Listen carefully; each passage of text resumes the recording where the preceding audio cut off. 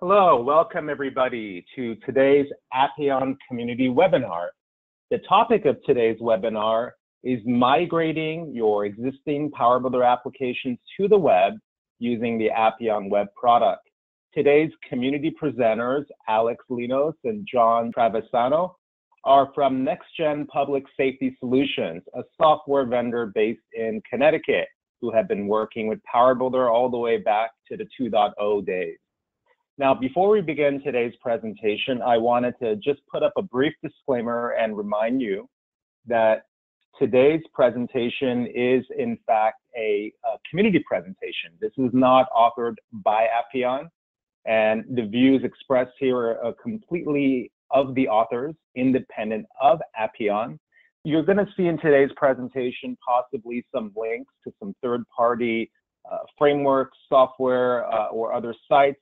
Just please keep in mind that these uh, third-party materials are not provided by Appeon, and so you should carefully evaluate it and decide for yourself whether you will uh, use that on your project or not. So with that said, I'm going to turn it over now to Alex and John. Hi, this is Alex. I want to uh, briefly go over our webinar agenda. Um, we're going to talk about our application dead end, um, how we tried to convert our application the first time and failed. Um, we're going to give you a brief cost analysis where we weighed out our options on how to migrate our application and we're going to give you a little bit on how we um, did a time frame for our changes from um, PowerBuilder to Appeon Web. And then we're going to talk about the browser web plugin versus IWA, the installable web app in Appeon Web. And then we're going to give you a demo of a uh, cool trick we have uh, in PowerBuilder and some source code around that um, for you to use in your applications. And then we'll also do a Q&A at the end. Hello, I'm John Travisano. I'm the lead developer with Nexgen. I've been programming in PowerBuilder for about 15 years. We also work with the .NET and our backend is within SQL Server. Um, I've worked on numerous projects throughout the state of Connecticut and Massachusetts. Um, we listed a few there, and I will be focusing in on the end of the presentation with the demo code and the INI trick we came up with. And again, I'm Alex Linos. I am a uh, network engineer at Nexgen Public Safety. I specialize in networking, virtualization, and I bring a uh, unique perspective because we also manage several of our clients' IT infrastructure. Um, and I'm presenting the boots on the ground perspective um, versus the how it works on my machine perspective. Um, and you know, if anyone wants to follow up with me with any technical questions, I would be more than happy to assist you with that.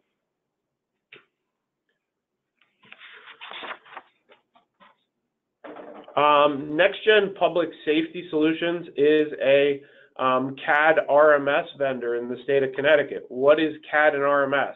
Um, computer aided dispatching is what what a dispatcher does when you dial 911. They geocode your location. They take in um, data from the 911 system and uh, dispatch emergency personnel to your location.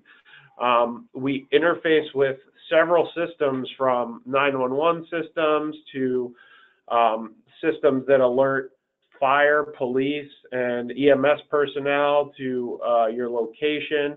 Um, we work over 4G LTE modems in police and fire apparatus. Um, we also have an iOS app uh, that is native that we have written for um, first responders. Um, we do report management solutions um, and basically anything and everything to run a um, public safety department.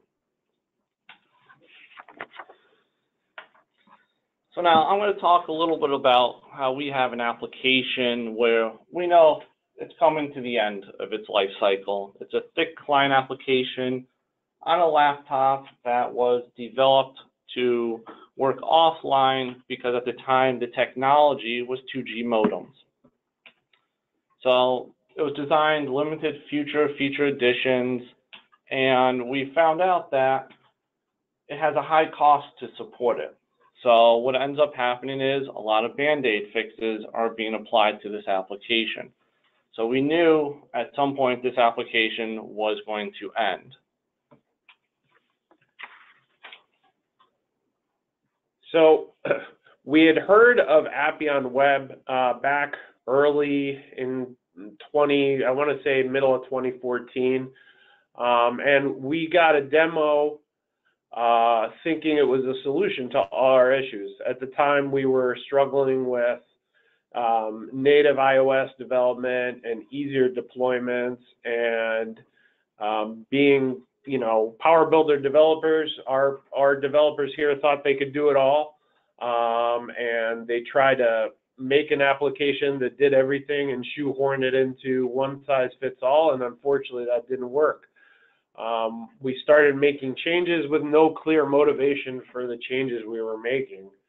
Um, but that changed for us uh, because we had to do a rewrite to the Connecticut accident report. And while we were doing this rewrite, we made a pretty intuitive um, step-by-step question type um, interface to um, create the accident report and to generate it. So from there, um, you know, our motivations changed.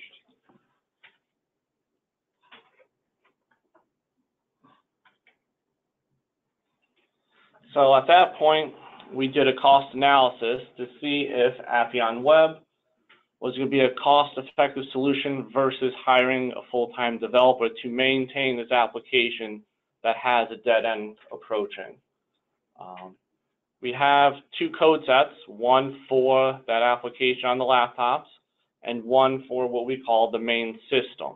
And the main system is where that new accident report was developed. We really did not want to go into redesigning the databases on the laptops for the future releases, and we did not want to maintain two code sets. So Appeon Web allowed us to maintain one code set with the current staffing we have. So overall, we would be saving money and time by switching to Appeon Web.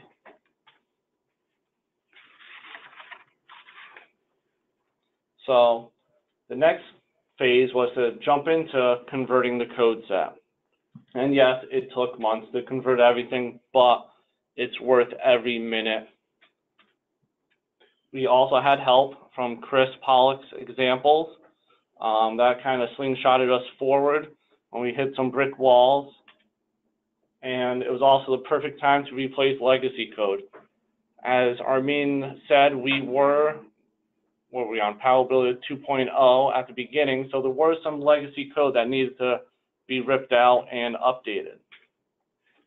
And we also had EA Server, so at the same time, we took EA Server out and switched to IIS.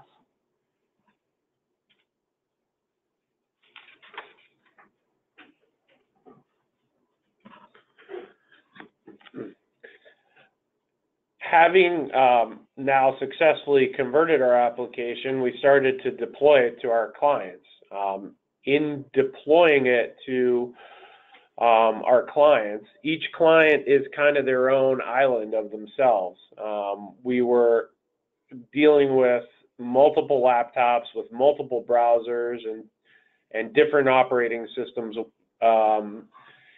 and when we started, we were having a lot of trouble with the IWA, um, or I'm sorry, the original web plugin versus IWA. Um, our windows were resized to fit a 1024 by 768 screen, which is common for police vehicles. Um, and having the browser window around it really was difficult. We had to come up with like full screen hacks and little scripts to make things work. And um, it was a little painful for a while. But then when IWA came out, we flew through upgrading all our clients to Appeon Web 2016 because of how seamless IWA made installing our application. In so much as me having to dedicate technical resources to it, our clients were now able to click on the link, install the IWA runner, and the application would open seamlessly, just like the application they're using inside. Um, and for them, they loved it because there was no need to retrain their personnel. The install was so easy that even the users could do it. And everybody has had positive feedback on IWA, and we've migrated all of our customers to that to that product. So um, we're really big fans of it here.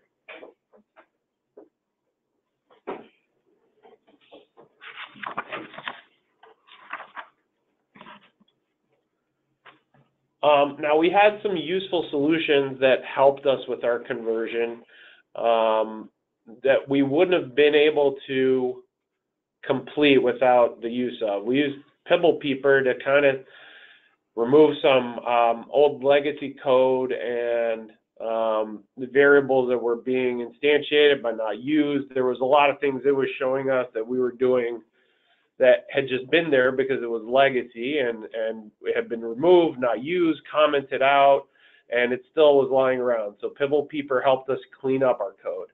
And then we moved to using um, WizSource by Top Top Wiz by Roland, which is um, what we use for our source control, and that made managing um, a single source application um, easier for our developers. We've now even added a junior developer, and uh, it's been easy to train them up on how to check in and check out objects. And uh, we moved a lot of our build to um, what I call like the arbiter of the builds, our, our virtual machine, which does all the builds. So that, that'll pull in the individual, individual pieces from our developers and give us a nice stable build that then goes to QA, QC. Um, but one of our more useful solutions is we had to find a way to dynamically change the INI on an Appeon web client.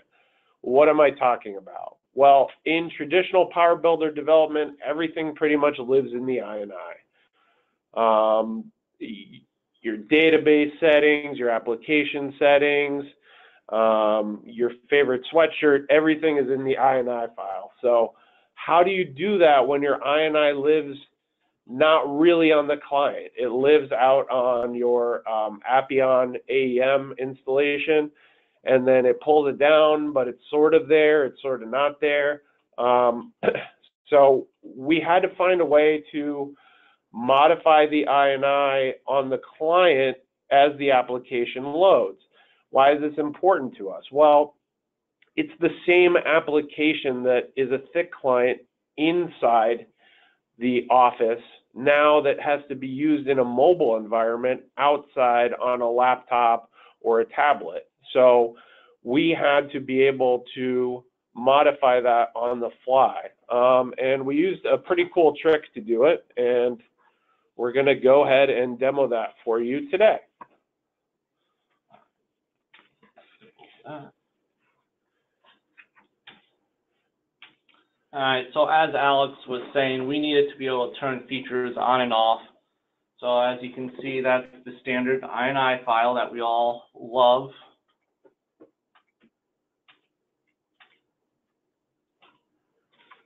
And then what we did was we started making database tables that represented the same sections and values as an INI, so that when the application opened up, we could read the data out of the table and update the INI files.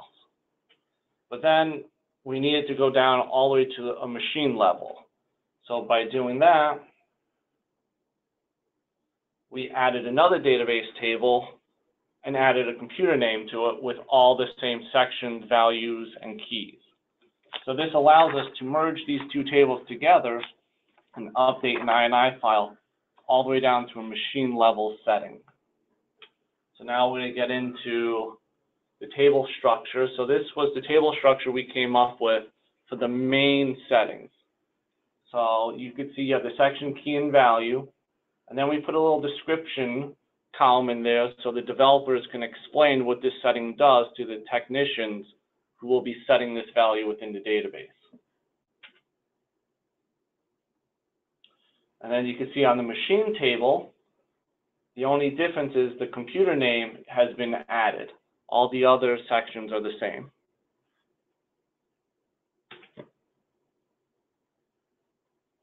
And then to merge the two tables together, we came up with a SQL procedure, pretty simple, and all you had to do was pass the computer name into it.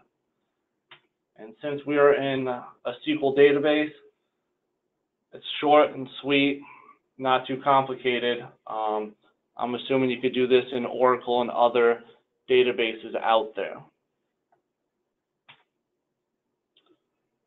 So now we just want to show you some of the source code and some of the tables within SQL that we use.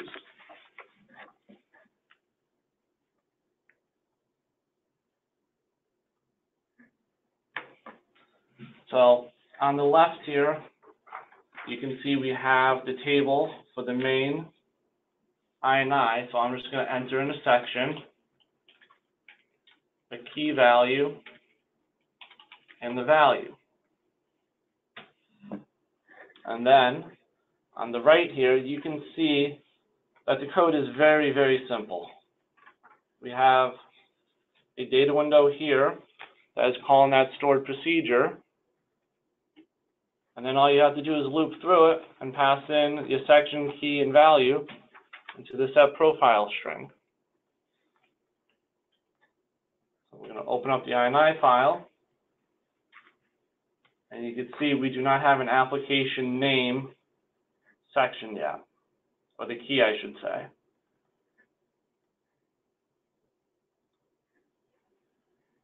So now it retrieves right here, and then we just hit update INI.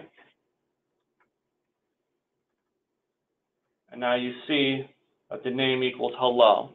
And since we added this to the main INI table, this will go out to every single machine.